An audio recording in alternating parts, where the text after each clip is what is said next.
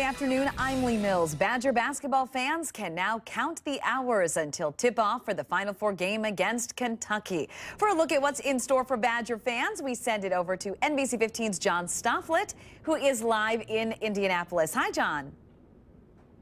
Hey there, Leigh. Hey, the only thing looming bigger than that Final Four bracket on the Marriott building is that big matchup tomorrow night against Kentucky and Wisconsin. And the fans were really streaming in today. Finally seeing a lot of Badger fans here. It was a good day for them to check out the Fan Fest because it was a little bit rainy, a lot of interactive exhibits for the kids and families.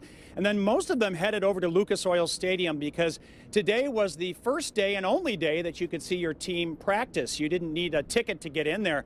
And that might be the only time a lot of fans are inside of Lucas Oil Stadium this weekend because tickets to the big games have been really tough to come by. NBC 15's Amy Pflugshaupt has been following that story. Amy? There sure is a lot to do all around this city, but inside Lucas Oil Stadium, that's where everybody wants to be this weekend. We, we just love the Badgers and, and bleed red. Greg and his son Hunter loaded up the car and made the road trip to Indy from Sugar Grove, Illinois. Uh, it's fun father-son time. Um, yeah, it's just really fun. But they're missing one thing, tickets.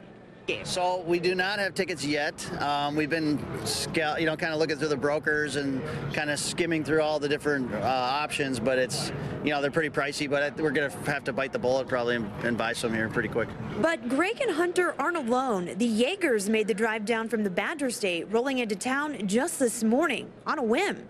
Yeah, once uh, they beat Arizona last week, we decided to see if we could find a hotel room and just uh, make the trip down to Indy. It's a short drive, and the kids are on spring break next week, so we thought we'd take a family trip and still looking for tickets. Hopefully, we can find some and enjoy the games. Okay, the question of the hour then how much are you willing to pay for tickets to see the Badgers in the Final Four again? I don't know who to direct the question to here.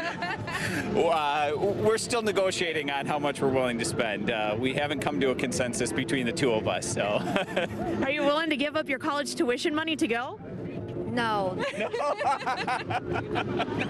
Neither's mom. Tickets are hard to come by, but it's not stopping people from trying. They're walking the streets out here of Indy, hoping to maybe land that lucky ticket that will get them inside Lucas Oil for the Final Four.